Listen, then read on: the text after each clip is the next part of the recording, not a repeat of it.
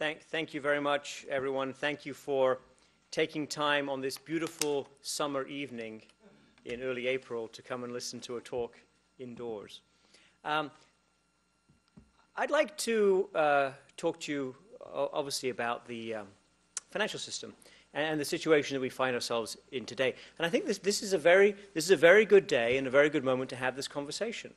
Uh, I just came from Capitol Hill, uh, from a, one of many briefings, I'm sure, that are going on right now, where people are grappling with the question of um, what legislation should be passed or not passed that will try and prevent a major financial meltdown from happening again.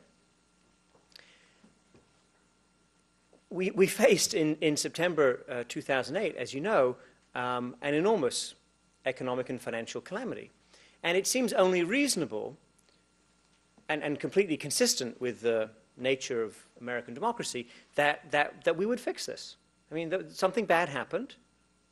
We can argue about the details. Again, that's very democratic of us. We have an administration that is packed with experienced professionals.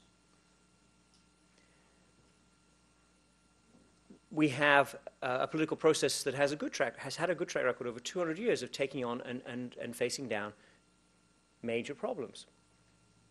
So where are we on, on, on fixing the system that got us into so much trouble? Well, I would say, quite, quite honestly, quite bluntly, and, and, and hopefully we'll discuss this as we go through the evening, I, would say we're nowhere. I'd say we're at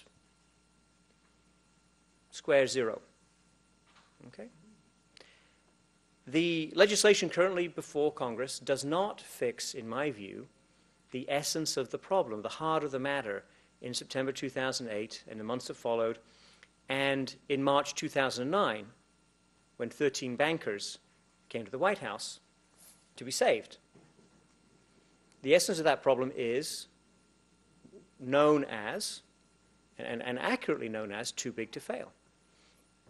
Those 13 banks and the bankers who represented them were saved unconditionally by the Obama administration.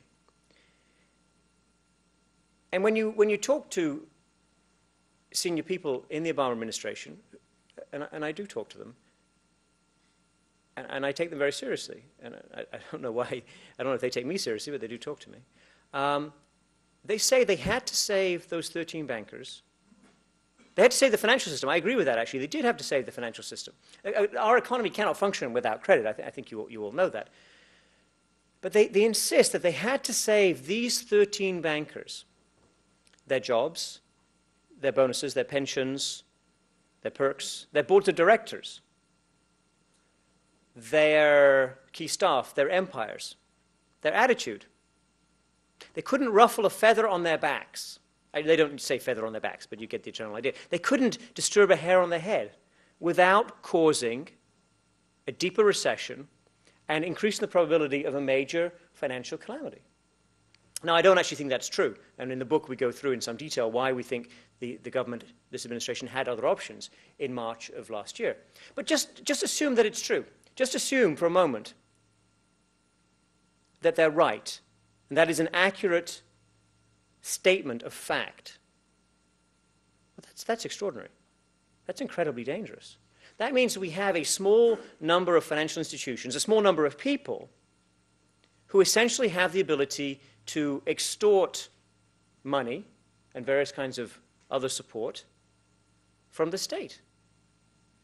That, that, that, that's, that's incredible. That, that's not without precedent, perhaps, in, in, in, American history. We'll talk about some historical examples as we go through the evening, but that, that, that's, that's terrible.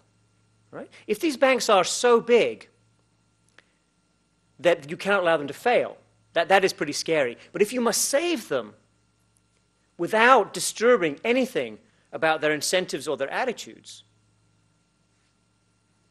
you have an enormous problem. Let me tell you now one of my punchlines, one of the punchlines in the book. And, and one of the key points I, I, was hammering, trying to hammer home on Capitol Hill just now. Our largest banks, the largest, let's say the largest six banks, actually, because I think it does come down a lot to these six banks. The largest six banks have a balance sheet, total assets, the size of the bank, which is 63% of GDP. Well, that, that's, that's pretty big. What were they before the crisis? 2005, 2006, 2007, they, they were smaller. They were 56, 58% of GDP. What were they in 1995? Same banks and their predecessors. 17% of GDP. They're getting bigger. Of course they're getting bigger. They were bailed out. They were saved. They were allowed to buy other banks. They were encouraged to buy other banks. Their cost of funding today in the credit markets is estimated, I think accurately, to be between 75 and 80 basis points lower than for other banks. That's 0.75 to 0.8 percentage points. That's a big funding advantage. Jamie Dimon, the CEO of JP Morgan Chase, one, one of the more successful banks recently, said in a letter to his shareholders just this week that if we get big because we win, because we're good, we should be allowed to reach any size we want. That's the free market. Well, that's not the free market. We do not have a free market. We have a too big to fail unfair advantage. If you run a massive bank, and I'm just assuming that none of you do because they don't usually come and hear me talk. but, but I'd be happy to have the debate if anyone is here from, from a massive bank. If you have a massive bank, you have a tremendous unfair advantage right now. You are too big to fail. You will be saved, and the credit market recognizes that. And of course, you're going to get bigger. There is nothing in Jamie Dimon's job description as head of JP Morgan Chase that says he's responsible for American or global financial stability. I haven't seen his job description, but I'm, I'm confident in asserting that. His job description is to make money for his shareholders and for his colleagues at JP Morgan Chase. Uh, we can discuss how well he does uh, for his shareholders, but certainly the insiders have done well. You've seen the latest compensation figures, I think. For 2009, total compensation on Wall Street was higher than it's ever been. Executive compensation was down a bit, but the compensation of people working in these banks was up. The CEO of Wells Fargo, John Stumpf, just got a, a big, uh, we've seen the details of a very big cash payout um, for 2009. Cash, which is exactly what the administration asked them not to do. In March 2009, President Obama did say to the banks, please be careful going forward, please behave yourselves, please don't take reckless risks, and we presume he said, please rein in the compensation, none of which they've done. John Stumpf uh, got paid a very big cash salary, which is exactly contrary to what the administration has asked for. The administration wants deferred compensation. When questioned about why he would get so much cash, a spokesperson for Wells Fargo said, Well, we had a very good year in 2009. They did not have a good year in 2009. They were saved by the American taxpayer, by the, I think, excessive generosity, certainly generosity, of this administration. It's extraordinary, the attitude of these people. And, and nothing, nothing I say, nothing in the book is vindictive. Nothing is intended to get back at these people. This is just forward looking. Let's talk about the future. We can argue, actually, we can have an interesting argument about the extent to which the big banks perceive themselves to be too big to fail before September 2008. That, that's an interesting discussion. But that's not my focus, not the focus in the book. The question is now do they think they're too big to fail? Goldman Sachs, a, a balance sheet fluctuates around $800 billion. If Goldman Sachs failed, if Goldman Sachs hit a rock, and I don't know if you, to the extent to which you follow this on a, on a daily basis, but uh, Greek bond spreads widened considerably today. Greece is in more trouble quicker than people were anticipating. Who knows what kind of exposure any of these big banks has, for example, through their um, derivatives off balance sheet uh, transactions. I'm not saying any one of them is in trouble, but let's imagine that, that Goldman Sachs, for example, hits a big rock today, tomorrow. Could they fail? Could they go bankrupt? No, absolutely not. They would be saved by the government.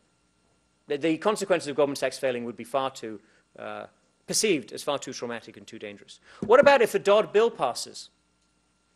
What about if this legislation, in the form currently proposed for discussion in the Senate, what if that passes, or something very close to that? Would they let Goldman Sachs fail? Would it go into bankruptcy?